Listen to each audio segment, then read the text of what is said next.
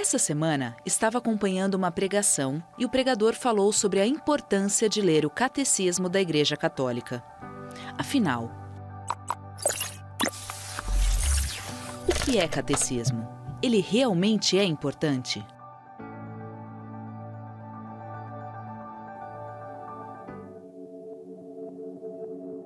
O catecismo é um conjunto de instruções sobre os princípios, dogmas e preceitos da doutrina da Santa Igreja. Ele contém todos os elementos essenciais e fundamentais da fé. É uma explicação da fé da Igreja e da doutrina católica, testemunhadas ou iluminadas pela Sagrada Escritura, pela tradição apostólica e pelo magistério da Igreja.